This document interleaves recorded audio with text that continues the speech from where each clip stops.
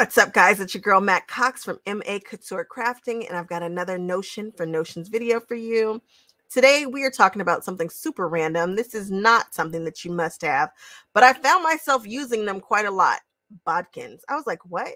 Back in the day, if I needed to get my pants looped through, you know, the, the string for your pants, my mom would just grab a safety pin and we would just sit there and, and work our way until we got it and that works. However, now I'm a notions girl. I want all the notions. And I found this really cool one, and I believe it's by Clover, and it clips on the back. And it just makes it so nice, so easy.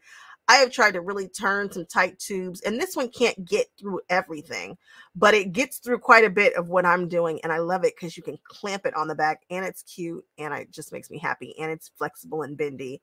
Bodkin, I know, who'd have thunk it?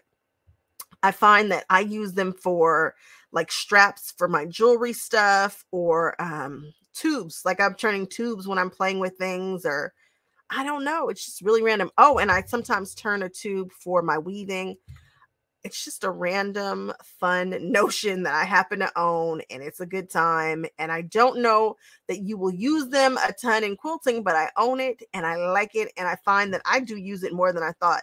And honestly, like my husband or my father will pull their strings out, and it's just a really fast, fun way to do it that's not a safety pin. It's lovely that we have these tools out here.